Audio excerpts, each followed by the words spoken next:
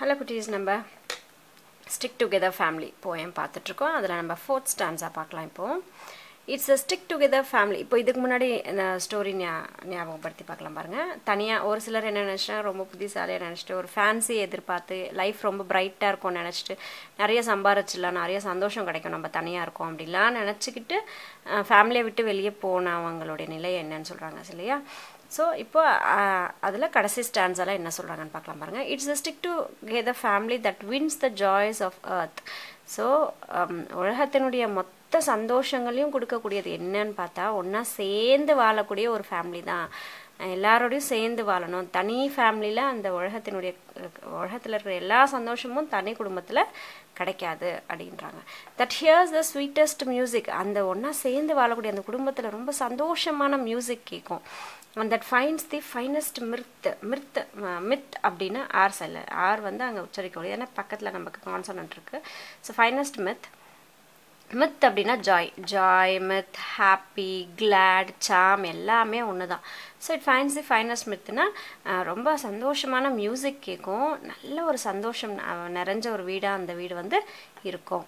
It's the old home roof that shelters all the same that life can give so பழைய வீட்டினுடைய அந்த கூரைகளுக்கு கீழே அழகான ஒரு ரொம்ப சந்தோஷமான ஒரு ஒரு நிலை வந்து இருக்கும். அந்த பழைய வீடாக இருந்தாலும் தன்னுடைய லெவல் வந்து கொஞ்சம் குறைஞ்சிருந்தாலும் எல்லா வசதிகளும் குறைவாக இருந்தாலும் கூட இந்த பழைய வீட்டினுடைய அந்த கூரைக்கு கீழே இருக்கக்கூடிய அந்த சந்தோஷத்தினுடைய அளவே இல்லை. அப்படின்றாங்க. There you find the gladdest playground so அந்த இடத்துல உனக்கு என்ன கிடைக்கும்னா ரொம்ப சந்தோஷமான ஒரு பிளே கிரவுண்ட் கிடைக்கும். தனியாக ஒரு புள்ள வீட்டில் உட்காந்து விளையாடுறதுக்கும் அதே ஒரு பத்து பேர் இருக்கக்கூடிய ஒரு ஃபேமிலியில் ஒரு குழந்தை விளையாடுறதுக்கும் வித்தியாசம் இருக்கு இல்லையா? அதான் சந்தோஷமான ஒரு பிளே கிரவுண்ட் அந்த வீட்டில் அந்த குழந்தைக்கு கிடைக்கும். There the happiest spot to live so அதுதான் வந்து ரொம்ப ஸ்பாட் அப்படின்னா இடம் இல்லையா? அதுதான் வந்து அந்த மாதிரி ஒரு வீடு தான் வந்து ரொம்ப சந்தோஷமான ஒரு வீடு. வாழ்கிறதுக்கு உண்டான ஒரு சந்தோஷமான ஒரு சூழலை கொடுக்கக்கூடியது கூட்டு குடும்பத்தில் இருக்கிற ஒரு வீடு தான் அப்படின்றாங்க. அண்ட் ஓ வியரி வியரி அப்படின்னா டயர்டாக இருக்கும்னு சொல்லுவாங்க இல்லையா? ஸோ சந்தோஷம் தனியாக வாழ்கிறது தான் சந்தோஷம் அப்படின்னு நினச்சிட்டு போனவங்களை பார்த்து சொல்கிறாங்க ஓ oh, வியரி வியரின்னா டயர்டாக இருக்கக்கூடிய அவங்கள பார்த்து சொல்கிறாங்க and O weary wandering brother வாண்டரிங்னா என்னது? ஒரு ஊராக சுற்றிக்கிட்டு இருக்காங்களே. ஒரு அதாவது தன்னுடைய தன்னுடைய வீடை விட்டுட்டு இன்னொரு இடத்துக்கு போகிறாங்க இல்லையா? இப்போ ஃபார் எக்ஸாம்பிள் வில்லேஜ்லேருந்து சிட்டிக்கு வந்து பயணம் பண்ணி போவாங்க. வேலைக்கா வேலையெல்லாம் செய்யறதுக்காக அங்கேயே செட்டில் ஆவாங்க. அவங்கள தான் வாண்டரர்ஸ் அப்படின்னு சொல்லுவாங்க. ஸோ அந்த வாண்டர் அந்த விட்டு போன அதாவது ஊரை விட்டு போன தன்னுடைய தம்பியை பார்த்து சொல்லுவாங்க டயர்டான ஊரை விட்டு போன பிரதரை பார்த்து சொல்கிறாங்க and oh where you wanting brother if contentment you உன் கண்டென்ட்மெண்ட் அப்படின்னா நீ என்ன உன்னுடைய உன்னுடைய ஒரு சாட்டிஸ்ஃபேக்ஷன் உனக்கு லைஃப்பில் நீ விட்டுட்டு போன ஃபேமிலியை விட்டுட்டு போன தனியாக இருக்க ரொம்ப டயர்டாயிட்டு இருந்திருப்ப அப்படின்லாம் சொல்லி கடைசியில் சொல்லுவாங்க பாருங்கள் உன் உன் நீ தனியாக போனதுக்கு உண்டான குறிக்கோள் உனக்கு நிறைவேறிச்சு அப்படின்னு நீ நினச்சேன்னா சாட்டிஸ்ஃபேக்ஷன் வந்துருச்சு அப்படின்னு நீ நினச்ச அப்படின்னா நீ என்ன பண்ணணும்? Come you back and to the fireside and be comrade with your kin so come back அப்படின்னு சொல்கிறாங்க ஒருவேளை பாருங்கள் டயர்டாக இருக்கக்கூடிய ஊரை விட்டு போன என் தம்பியோ அண்ணனோ உன்னுடைய லைஃப்க்கு உண்டான சாட்டிஸ்ஃபேக்ஷன் உனக்கு கிடச்சிச்சு அப்படின்னு நீ நினச்சேனா உன் நீ எதை நோக்கி பயணம் பண்ணியோ எதை விட் எதுக்காக எங்களெல்லாம் விட்டுட்டு போனியோ அந்த சந்தோஷம் உனக்கு கிடச்சிச்சு அந்த சாட்டிஸ்ஃபேக்ஷன் உனக்கு கிடச்சிச்சு அந்த எல்லா திருப்தியும் எனக்கு உங்கள் லைஃப்பில் இருக்குது நீ வின் ஜெயிச்சிட்ட அப்படின்னு நீ நினச்சேன்னா கம் யூ பேக் மறுபடியும் ரிட்டன் வா.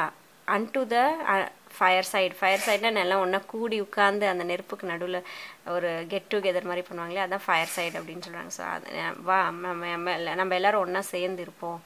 And be comrade with your kin comrade அப்படின்னா என்ன அப்படின்னு சொல்லி பார்த்தீங்கன்னா ஒருத்தர் அதாவது அந்த குடும்பத்தில் ஒருத்தர் அப்படின்னு சொல்கிறோம் இல்லையா? ஸோ இந்த குடும்பத்தில் ஒருத்தனா நீ வந்து இரு. காம்ரேட் அப்படின்னா ஒருவர் அப்படின்னு சொல்கிறது ஸோ இந்த பிக்சரில் பார்த்தீங்கன்னா இவங்கெல்லாம் ஒரு குரூப் இல்லையா?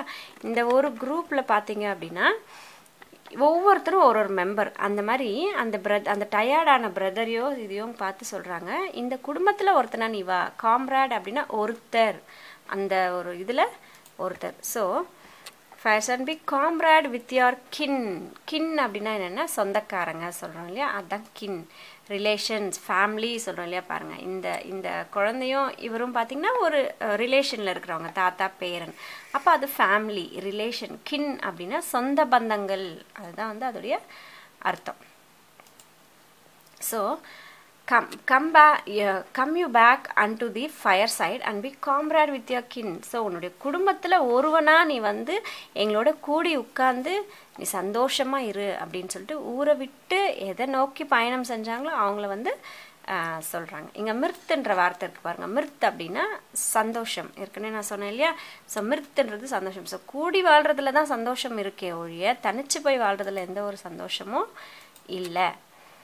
தென் கிளாட்னஸ் ஸோ ஃபேமிலி ஒன்றா சேர்ந்து வாழக்கூடிய ஃபேமிலி ரொம்ப சந்தோஷமான ஒரு ஃபேமிலி ஸோ நீ வளந் நீயும் வளர்ந்துட்ட அப்படின்னா உன்னோட பேரண்ட்ஸோட சேர்ந்து சந்தோஷமாக ஒரு பெரிய கூட்டு குடும்பத்திலேயே நீ வாழ. அதோடைய சந்தோஷம் எப்பயுமே ரொம்ப நல்லா இருக்கும்.